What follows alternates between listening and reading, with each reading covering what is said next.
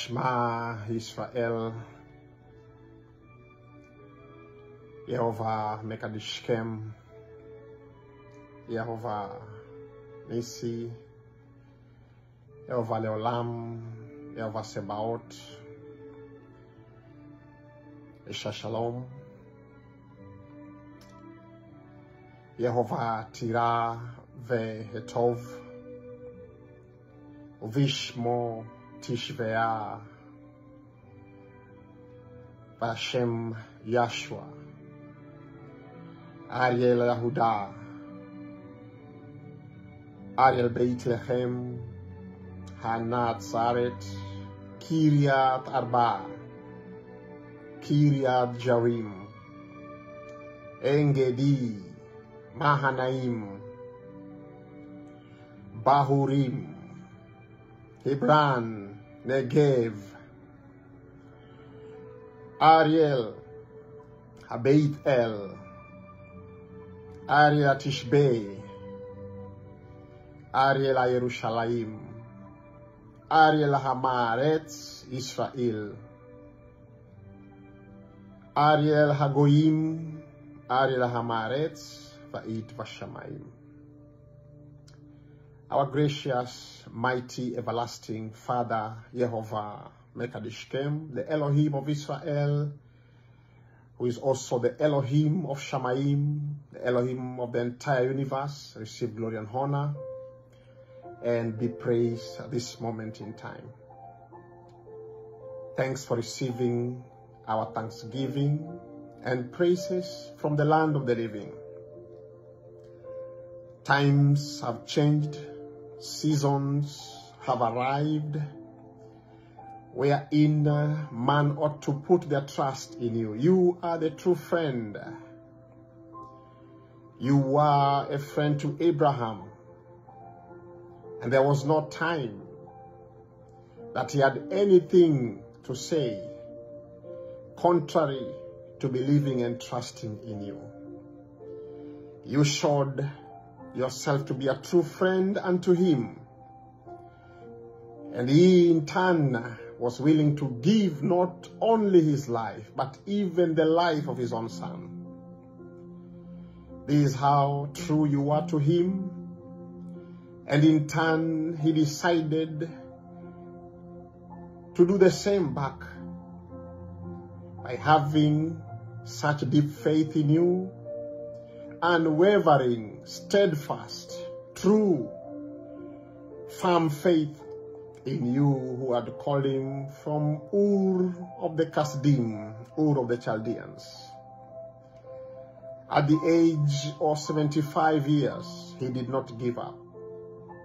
He went all the way to 100 years without a child.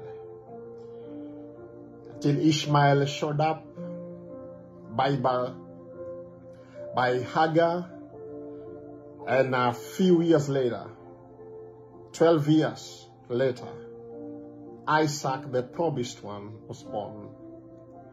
And he lived to be 175 years, full of years, full of your blessing, having seen your goodness in the land of the living. Receive glory. Teach us to be true friends. Teach us to find true friends. It may not be many, but may your grace cause us to arrive to that juncture wherein we enjoy the grace and the fellowship and the walk and the oneness of a true friend. The kingdom has been yours before Genesis. It is yours now. It shall be yours all the days of our life, even beyond revelation. Yahshua is our Messiah. In him we move, live, and have our being. Receive glory, Heavenly Father. Thank you for your grace upon each one of us in the land of the living. Thank you for meeting us at the very point of our needs. Be exalted in the highest. Hosanna it is in the highest. Hosanna it is in the highest. Blessed is he who comes in your name. Baruch atah Yehovah Eloheinu melech haolam. Amen ve amen. Greetings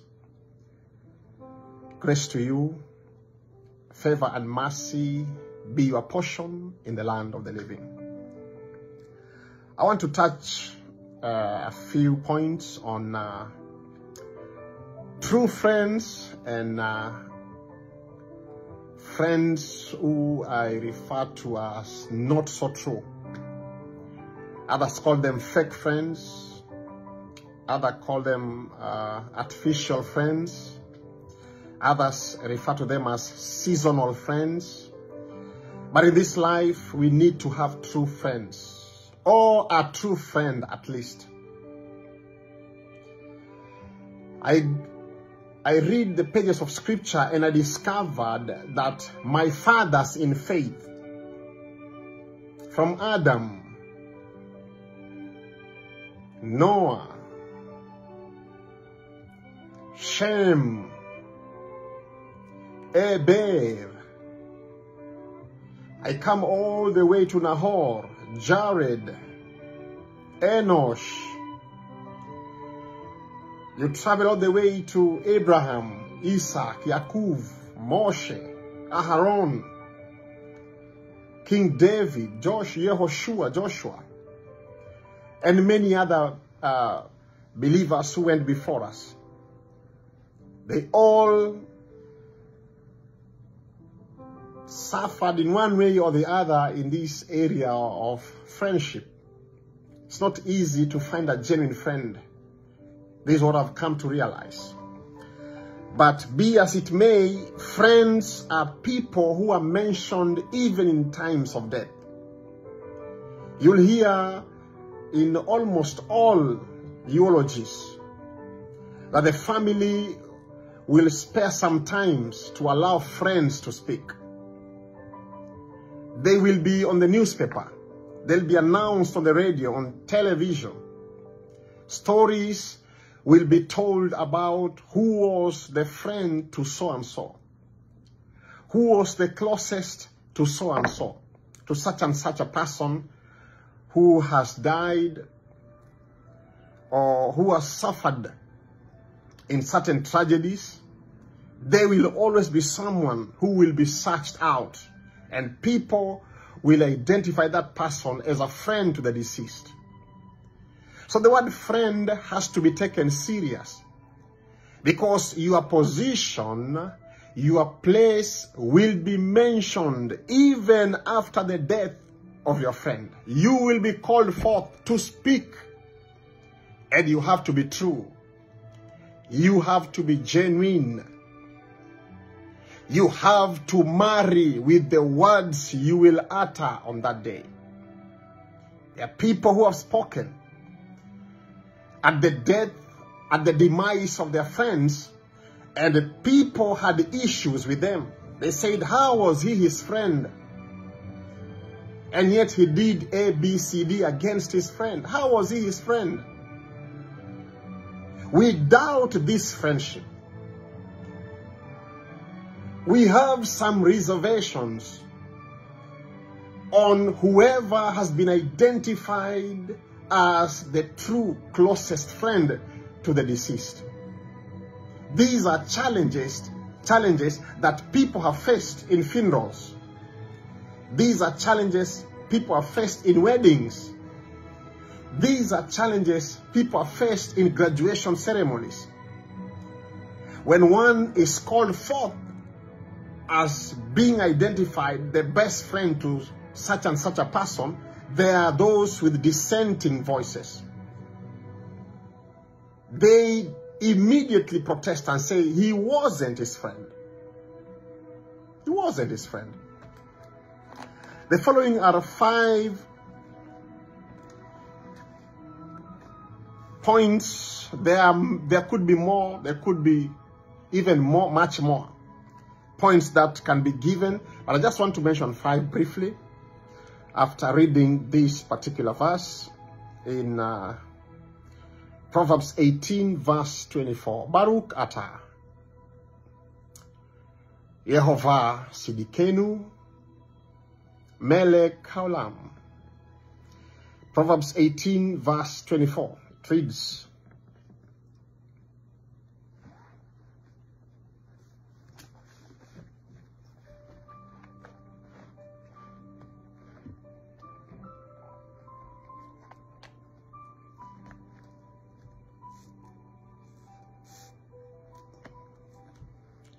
17, 17, I'm sorry. Proverbs uh, 17, verse 17.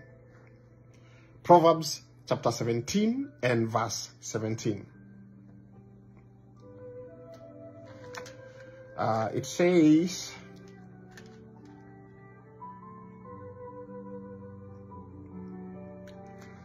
A friend loves at all times. A friend loves at all times. And a brother is born for the day of adversity. Now, there is a line that has been drawn to, to divide between these two people. And uh, it's not a coincidence that a friend and a brother are being mentioned in one verse. Now, when you look uh, this scripture critically, then you give weight to a friend. Why? Because he's being mentioned on the same line verse with a brother whom you have been born with. So scripture says, your blood brother may only avail themselves in the day of your adversity. But a friend, scripture says, is there at all times. He is there for you at all times. And this is why he even precedes your brother in this particular verse. And I've mentioned earlier that when you see something preceding the other in some verses, there is a spiritual significant meaning to it. And here it says that a friend loves at all times. And the Hebrew word there is in plural. It says at all times. That is who a friend is. But a brother whom you have been born with will only come on the day of your adversity. Can you imagine the difference? There's a big difference. It is my brother I expect to be there for me at all times and not my friend. But scripture is giving uh, uh, a friend who is true a higher rank. And it says, there is a friend who can be there for you at all times, all times. Now, when I was looking at the word at all times, I realized it's broader and wider. There's a lot to be mentioned.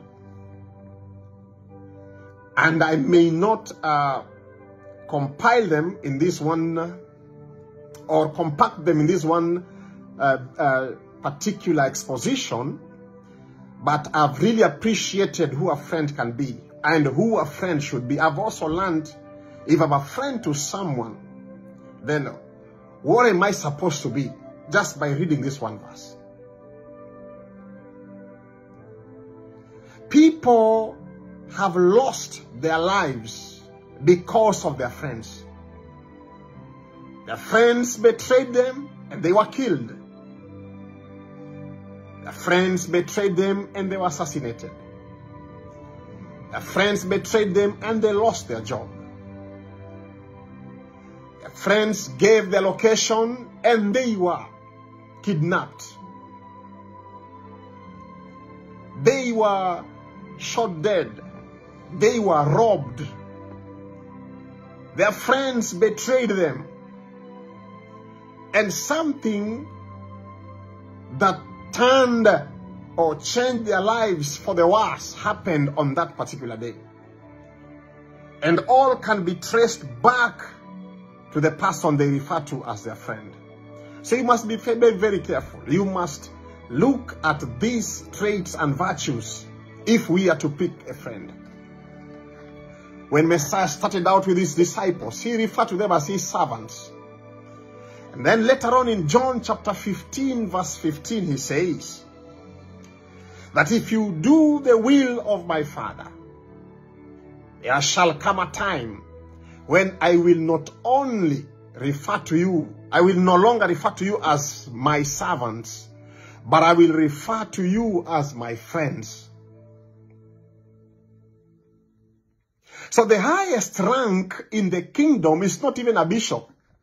Can you imagine? It's not a bishop. People think the highest rank in this world is being called archbishop or right holy reverend bishop doctor so and so. That is not the highest rank. The highest rank in the Holy Scripture is to be called the friend of Elohim, the friend of the Most High. Abraham was a prophet. According to Genesis, he was a prophet. But if you read the scripture keenly, he attained the level wherein Elohim referred to him as my friend. James chapter 2 and verse 23. That he believed so much, he increased his level of believing the Most High to the point he was no longer a prophet. We only know him as prophet, Father Abraham, the man of faith, the father of faith, but we rarely address him with the highest rank given in the scripture, the friend of the Most High. Do you know you can be a neighbor to someone for 30 years, 30, 40 years, 50, 60, 70 years. You can be a neighbor to someone. But you do not have as much information as his friend who may have known him for 15 years. But you have known him for 60 years. You have been neighbors, immediate neighbors for 60 years. But you have less information compared to his friend. His friend has much more knowledge, much more information, much more insights about them. Why? Because the highest rank I have come to discover in scripture is the rank of friendship. There are friends who are there with you for their convenience. When it is convenient for them to be with you, they will be there for you. But when things go south, when things go haywire, they will desert your friendship. They will betray you. They will give you out. They will turn their backs on you. And this is why before you refer, before you label anyone as your friend, because that's the highest rank in this Holy Scripture. This is what I've come to realize. I know of thousands and thousands upon thousands of servants of the Most High, Elohim. I've never seen anyone refer to himself as, well, I am friend of, I'm friend of Elohim, so and so. Like, for example, people say, I am bishop so and so. I am apostle so and so. I am prophet so and so. I am teacher so and so. I am elder so and so. I am deacon so and so. You see, people love those titles, but they forget that there is another title here. That is scripture. It is scriptural. It's biblical for you to refer to it with it, for you to inspire yourself with it, to the most, towards the Most High. But then I realize, oh, that title is scarce. In the churches, in the assemblies, in the ministries, that title is scarce. In fact, I have, I have not heard anyone refer to this, to themselves by this title, that I am friend so-and-so of Elohim. I've never had. Why? It is the highest rank you can have. You know so much about the Most High. He reveals so much to you. Things pertaining to Him, His kingdom, His ways of doing things are made plain to you. When for others it is a struggle, to receive revelation, to understand certain chapters, understand certain prophecy, because you are a friend. That grace, that grace touches you. And you tap in to the source. And you understand, you grasp this revelation. A friend loves unconditionally. They have this unconditional love. This is why Messiah said unto the apostles, There will come a time I will no longer refer to you as servants, because a servant does not know what his master is doing. They don't know. They have to be told that tomorrow we will be doing this and that. They have to be, they, they have to wait for this information to be passed over to them. But a friend is privy to what the master is about to do. It is a friend who leaks information. It is a friend who knows in advance. And this is why to have a true friend, you must test them. You have to test before you trust. I'm telling you, you have to test people before you can trust them. We have weird people in this generation. People are shrewd. People can, can camouflage. People can pretend. People can do their best to conceal who they really are. Even in marriage, it has to grow to the point where you are now friends. But why do we have problems in, in marriages? 95%, 98 in fact, percent of marriages are in shambles, are in, are in deep holes, are in darkness, are passing through the storms. Most have been wrecked by the storms. Why? The husband is not a friend to his wife. The wife is not a friend to, to her husband. They are rivals. They are enemies. You've turned into an enemy to your husband. You act like an enemy. You don't act like a friend. When a mistake occurs, you act like an enemy. You act like a rival. You are in the forefront to destroy your man. You're in the forefront to destroy your wife. You are the first to raise the sword and the spear and the bows and, and you begin shooting the arrows against your man before the public and then you want to remain in the same marriage with joy, it can't happen. It will never happen. You will not experience that joy. Marriage is spiced up when you become a friend, when you act like a friend. And you know when you have a friend, even from school, in the from the days of school, in, in, in nursery, primary, secondary, university, college, training, anywhere. When someone is a dear friend to you, you go slow. Even when you've heard they've wronged you, you go slow. You give them that space. You give them the latitude to understand what really happened for my friend to do this to me. You go slow. But what happens in marriages? People are not willing to give their friends latitude. They're not willing. They're ready to attack. They're ready to shout. They're ready to publish you, you know, everywhere. They're ready to call people and pull you down. They're ready to tarnish your image. They're the first ones to send messages, you know, north, east, west, south. And you're living with them in the same house. They crush your morale. They crush that, that, that grace that has been there, bonding you together.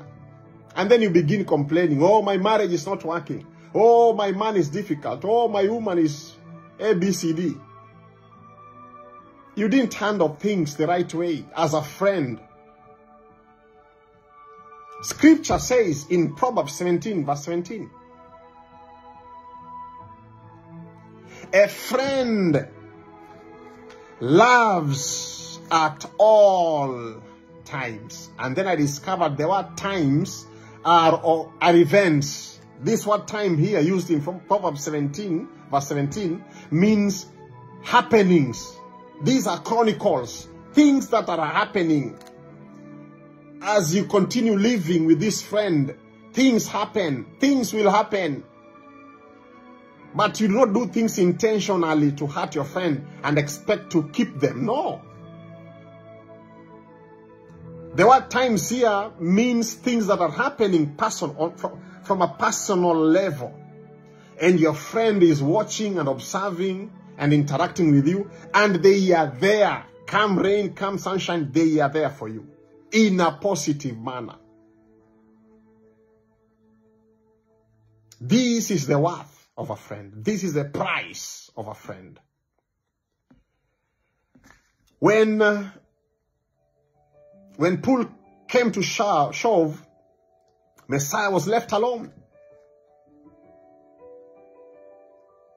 He was left alone at Golgotha, except for one disciple. And he is also referred to as the friend of the Messiah. This was John, Apostle John, who wrote the book of Revelation.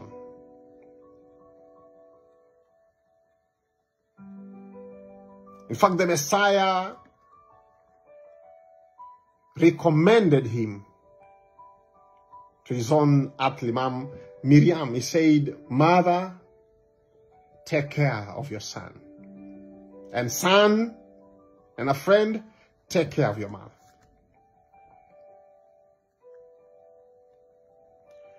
Friends come through during trials at their own expense, not expecting anything back. They come through for you during trials. Adversity, your adversity and trials are a litmus test for them. You see who they are. You know who they are. You find out deeper. Who are these people? Calling themselves my friend. Who are these people?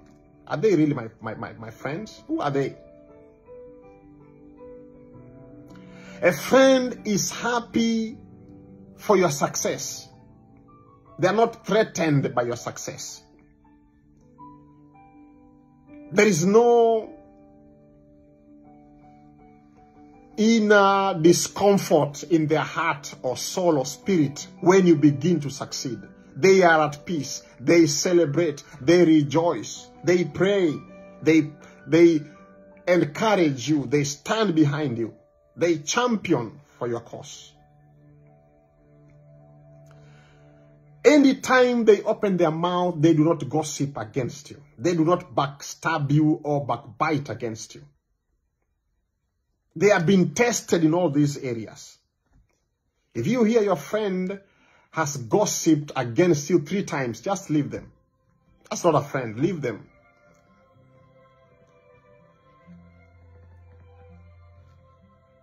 Deal with them in the level of ordinary mwananchi. Be nice, but just, you know, approach them with, with some caution. This is what, what I would advise. Approach them with some caution. Three times, if they gossip against you, and you confirm that it was true, just deal them like ordinary people. Do not place them in the, that high, high level of calling them a friend if they have not attained to that level. No one is called a doctor if they have not attained to that level. They have to attain to that level. No one is called a general without attaining to that level. No one can be called a police officer if they've not gone through the training or a soldier without passing through the vigorous training. No one can be called a dentist if they're not proven. So do not call yourself a friend to someone if you have not proven that friendship to that someone. If you weigh your words, can they pass the litmus test of gossip and backstabbing and backbiting and uh, betraying and whispering negatively? You whisper words negatively. You whisper wicked words that put them, that pull them down. That robs them and dresses them and takes away honor from them. And then you finish with that demonic anointed phrase. Don't tell anyone. I only told you I trust you. Don't tell anyone. That's a demonic phrase. Anointed from the pits of darkness.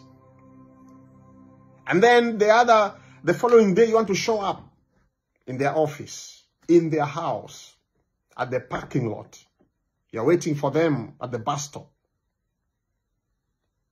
You want to hop on a Uber for a ride that he has paid. You want to eat lunch together. You want to go out together. You want to travel together. for, for submission. Yet you were the very one who was whispering yesterday to some people. And you cautioned them not to tell him, not to speak about it anywhere.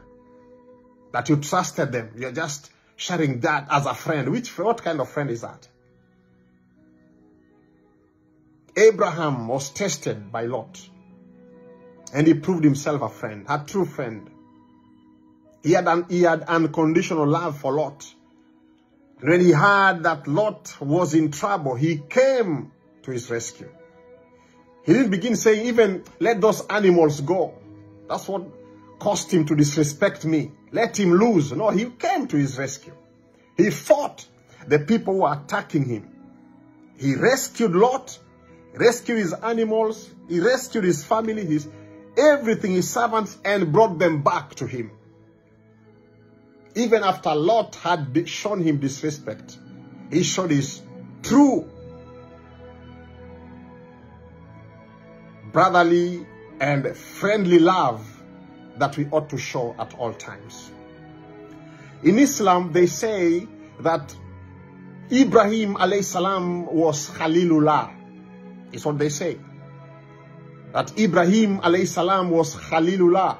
He was a friend of God. They confirm in the hadiths, they confirm in their books that he was indeed a friend to the Most High. It's what they testify. It's what the Arabs say about Abraham, our father.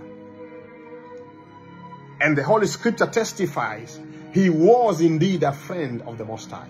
Lazarus was a friend of the Messiah. This is what the Scripture says, that Lazarus was a friend to the Messiah. John chapter 11 verse 11. And it continues to say that he said unto them in John 15, 15, let's go and wake up our friend. He is another person uniquely referred to as a friend. So very few people in scripture had the honor of Elohim calling them friends. Very few.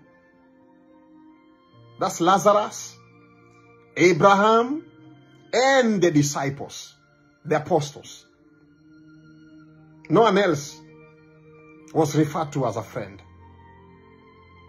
And today also, that window is open. If you do the will of the Father, you can attain the level of being called a friend of the Most High. You can attain that level. And will make known things that very few people would come to the understanding and grasp the wisdom behind it. I call upon us to be true friends to those whom we, whom we claim are our friends. And if you know you're not going to be a true friend, just leave it at, at that. Just be a raia mwema. Be a mwema. Do not pretend. It does not bless the heart. It does not bless the soul. It does not edify, it does not bless. Does not bring grace to your own life. Uh, last and not the least, how friendship is defined in our generation is a bit disturbing. On social media, they are referred to as followers or friends on Facebook. But if you if you take a swipe and try to find out are these people truly friends, then uh, you are left uh, with the confirmation that these people are just truly followers. They're, they're not friends, they're just followers. One, two might be. One, two, three, maximum seven might be. Out of 5,000. Someone can have even have 5,000 followers and friends on Facebook. It might be less than seven out of 5,000. Because I've looked at the qualification of a friend in the scripture. I've not even mentioned all. The qualification of a friend in scripture are way up there. They are way up there. Friend is one who looks the other side and covers your back.